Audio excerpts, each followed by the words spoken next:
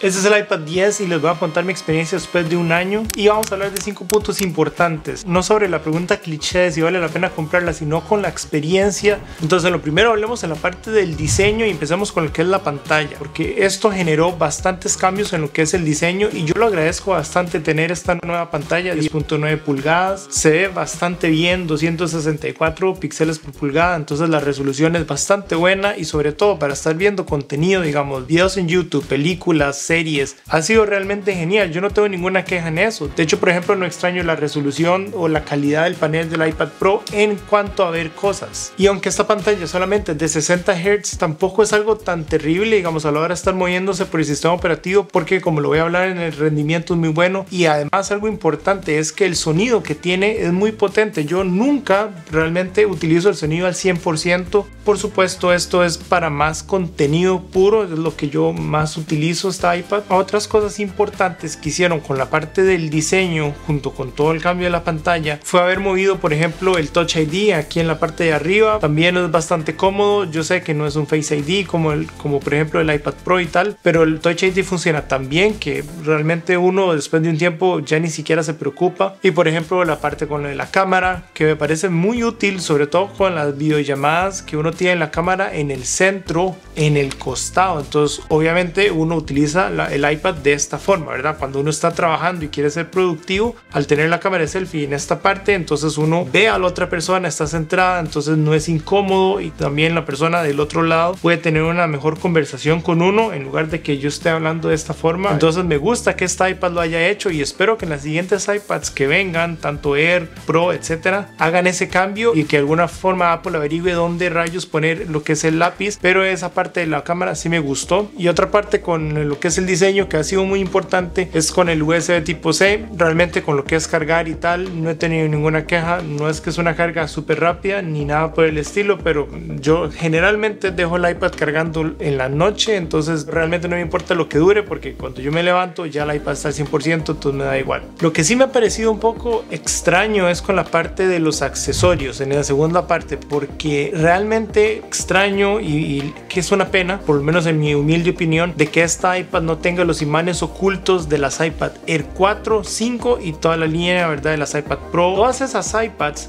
tienen unos imanes que nos permiten utilizar estantes. Por ejemplo, esta iPad Pro que yo tengo acá, este estante magnético es una maravilla, me encanta. O sea, el diseño, primero que todo, súper limpio, minimalista, lo puedo mover vertical, horizontal, ajustar en un montón de posiciones. Y aunque esta iPad se parece un montón a todas las Air y las Pro, lastimosamente los imanes no existen aquí atrás o por lo menos no están alineados de la misma forma, entonces este estante es totalmente inútil. Claramente yo entiendo que Apple propósito hace esto para separar una línea Air o Pro de lo que es una iPad básica, pero para mí eso es como una necesidad porque es extremadamente útil tener un estante, o sea, ya sea que yo esté en la universidad estudiando, si estoy en clases o que esté, por ejemplo, en la casa dibujando, leyendo o incluso estar viendo una película, lo que sea. Y al final de cuentas yo lo que hice fue que en un estante que yo tengo acá, como no lo puedo conectar con los imanes, le puse una funda cualquiera y entonces simplemente yo cierro, ¿verdad? Lo que es esta parte y ya entonces podría colgarlo del estante. No es la mejor forma para nada, pero funciona. Entonces si yo necesito ver algún contenido, simplemente pongo el iPad en ese estante y ya está. Y menciono todo esto de los accesorios porque yo creo que hubiera sido demasiado fácil y sobre todo beneficioso para el usuario tener toda la retrocompatibilidad con los accesorios de las iPad Air y 4 que ya habían salido este, unos meses antes o un año antes y hasta incluso con la parte de los teclados propios que tiene Apple porque por ejemplo yo le puedo conectar un teclado o el Smart Folio a las demás iPads pero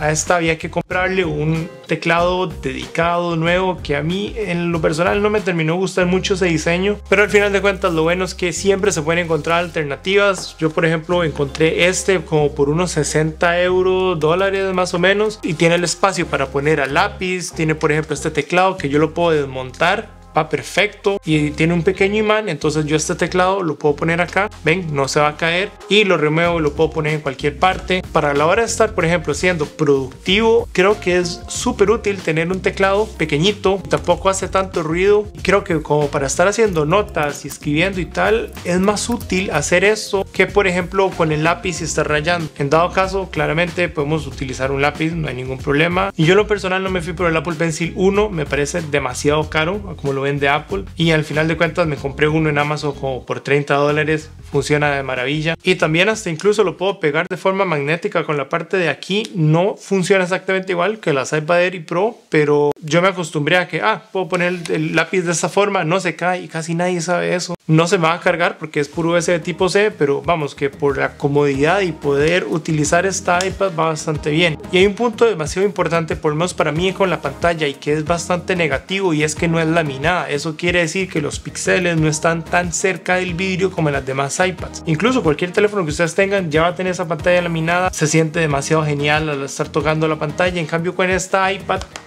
se siente un poquito, entre comillas, plástico. Es un vidrio, pero eh, la sensación no es tan premium. Obviamente no es el iPad más cara ni nada por el estilo, pero sigue siendo bastante costosa para lo que es. Y es una pena, de verdad, no tener esa, esa pantalla porque la sensación...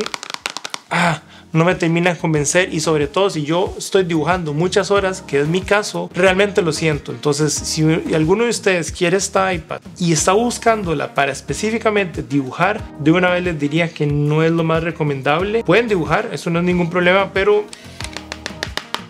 creo que el sonido y la sensación va a terminar eh, molestando después de muchas horas. Entonces, digamos, con toda esta parte de productividad y tal, ¿cómo se traduce con el rendimiento? ¿Qué pasa si yo quiero tomar esta iPad y exigirle más allá de ver videos y leer cosas en internet? Y la verdad que se ha comportado excelente. Digamos que todo este año no tengo quejas con lo que son los gráficos en sí. Tiene el procesador de un iPhone 12 que salió en 2020, tampoco es un procesador tan viejo. Y además de que las iPads duran como 6 años en el tiempo recibiendo actualizaciones de Apple eso es absolutamente genial. Y digamos, todos los juegos que yo le he bajado, el montón de aplicaciones que, he probado, de verdad que casi nunca he tenido lag o que diga yo, mm, ah, se está pegando un poco, tal vez no tiene la potencia suficiente. Realmente no, creo que cualquier persona que la quiera usar, aunque tenga expectativas muy altas de rendimiento, creo que esta iPad todavía los puede cumplir. Y espero que se siga manteniendo así, ¿verdad? Que cada actualización de software que vaya recibiendo, que no le baje el rendimiento. Y de momento todo bien. Y por supuesto, si les parece interesante lo que les estoy mostrando, los invito a que se suscriban, ya casi llegamos a los 100 mil. Pero hay un problema que sí es muy importante mencionar, que es que esta iPad, por lo menos el modelo base, son 64 gigas. Y honestamente con el almacenamiento es muy complicado. De verdad, si uno quiere jugar, va a sufrir bastante, es extremadamente incómodo porque los juegos últimamente se han vuelto más pesados. O sea, yo me acuerdo cuando algo pesado eran como 3 gigas y después uno baja el juego y al final de cuentas es como, ah, es una versión demo, yo necesito bajar 10 gigas extra para tener el juego completo y después hay otro parche de actualización a la semana, entonces uno termina bajando más datos. Y yo he notado que por ejemplo un juego súper popular que es Genshin que se ve súper bonito, los gráficos excelentes y todo, a cada rato hay actualizaciones y ya llegué al punto donde yo aunque quiero jugar no puedo hacerlo porque tengo que actualizar la aplicación y esa aplicación ya pesa 24 gigas, lo cual es bastante salvaje decir eso y yo ya no tengo campo para poder actualizarla porque necesito tener un montón de gigas para bajar todo el juego otra vez y al final de cuentas yo lo que he encontrado es borrar el juego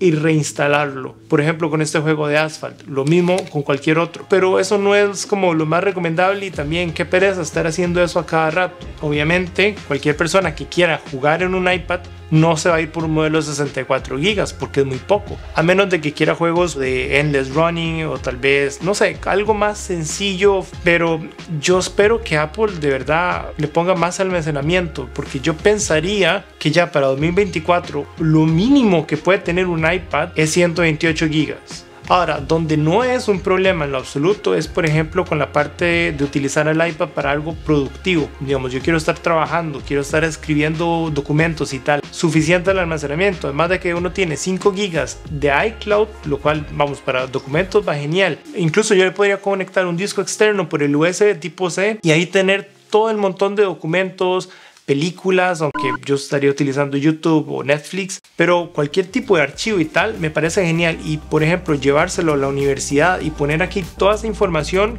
por lo menos es lo que yo hacía. Cuando yo estaba en la universidad, yo todo, todo lo tenía en un disco externo, nunca en la computadora. Y entonces, por ejemplo, con el iPad, si yo necesito estar leyendo algún PDF para alguna tarea, lo que sea, me va perfecto. Y además, si quieren algo más cómodo, me parece genial tener un pendrive o una memoria USB tipo C. Yo las he visto en el supermercado incluso por 15 dólares, 20 dólares, 64 gigas. Entonces, vamos, en, esa, en ese aspecto no tengo ninguna queja con el almacenamiento. Para mí es meramente jugar.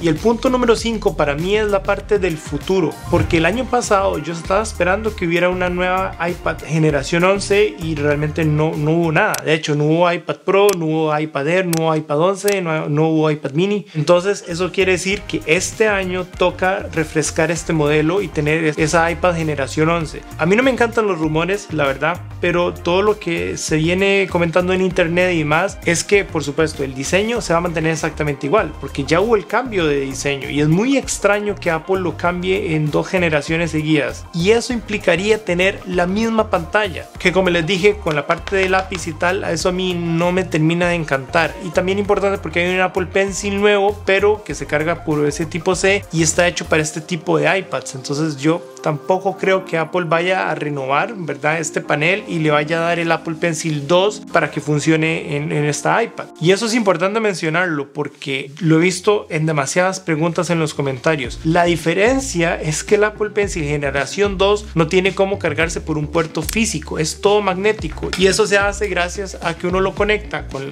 con la parte del costado en las iPad Pro, en las iPad Air y entonces el iPad carga a lo que es el lápiz. Como yo les comentaba, con este modelo la diferencia es que tenemos la webcam, entonces ahí no hay ningún tipo de carga inalámbrica y por más que yo ponga el lápiz aquí, aunque funcione, no se va a cargar. Pensaría que cualquier persona que busque entrar en el mundo de iPad y llevársela, por ejemplo, al trabajo o estar llevándose a la universidad, estar viendo videos, estar viendo películas, estar manejando un montón de archivos y tal, me parece perfecta. Es una excelente iPad para todo eso. Y yo sé que hay un montón de opciones en Windows, pero no son un iPad. Y ya lo he visto en los comentarios. Hay gente que lo que quiere es un iPad. No importa que existan un montón de alternativas, quieren un iPad. Entonces, para ese tipo de personas, yo sí creo que es una buena opción. Aún un año después, que aunque no tengamos esos accesorios que fueron diseñados para las iPad Air y la Pro, yo sí pueda encontrar alternativas que son bastante buenas, más económicas que obviamente las que vende Apple y poder incluso conectar cosas, ¿verdad? Para el entretenimiento, llámese Xbox, creo que es una buena compra. Eso sí, nada más les recomiendo que siempre tengan muy en cuenta la parte de que si quieren jugar o no